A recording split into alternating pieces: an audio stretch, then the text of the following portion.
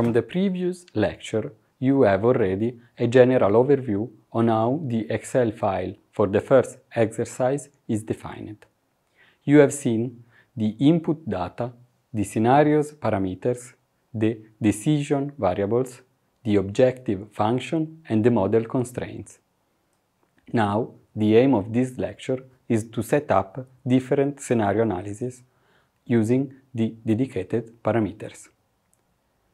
To do so, we will see how to modify the baseline sheet and which are the relevant results we can obtain from the analysis. The subject of this first scenario is a carbon tax.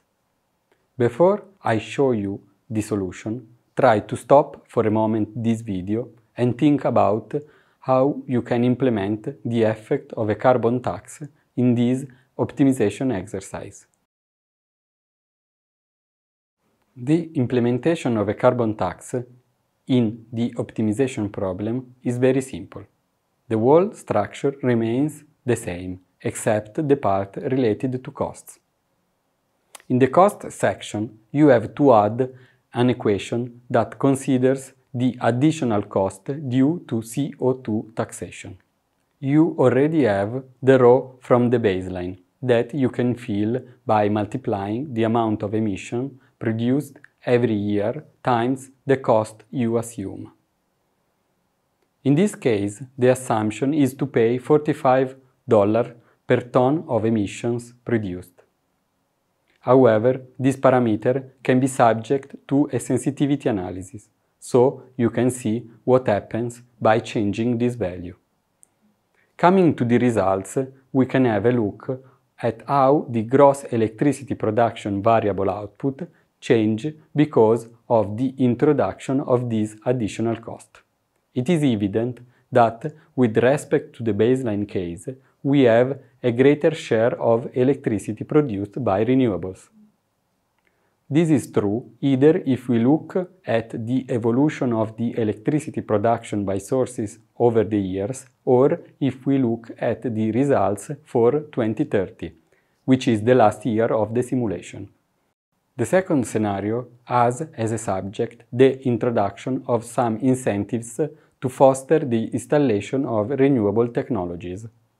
Before I show you the solution, try to stop for a moment this video in order to figure out how it is possible to introduce some incentives for the optimization exercise used so far.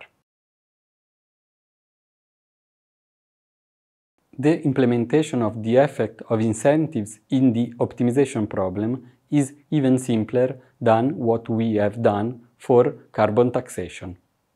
As you may know, there are multiple types of economic incentives that can be considered in the energy field.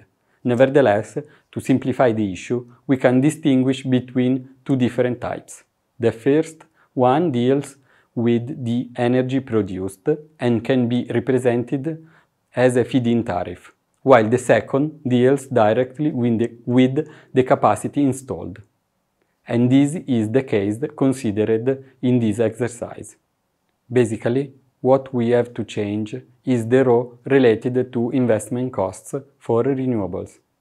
That are the technologies affected by the incentives scheme we would like to simulate. In this row, we have to decrease the amount of investment by the percentage desired, in this case 10%. The outcomes of this scenario can be appreciated by looking to the results, especially for what concerns the installed capacity. You can see by looking at this graph that a greater amount of renewables technologies is projected to be installed with respect to the baseline case. The last scenario is devoted to consider a constraint for the overall amount of land used for renewable installation. Land use is indeed an issue, especially for what concerns the installation of solar, photovoltaic and wind technologies. As usual, before I show you the solution, try to stop the video and put your hands on the Excel file to implement this new constraint. To introduce this new constraint on land use, the general structure of the problem remains unchanged. As you might have noticed from the baseline, in the Excel file it is already computed the overall amount of land used because of renewables technologies installation. Thus, the only thing you can do is to open the model window from the data ribbon and add another constraint to the solver. The constraint we have to put in this case is devoted to set a certain maximum amount of land that can be exploited in total. In the case of the exercise, we select 20 square kilometers of land. Of course, the results are heavily affected by this new constraint, both for what concerns the installed capacity and the gross electricity production.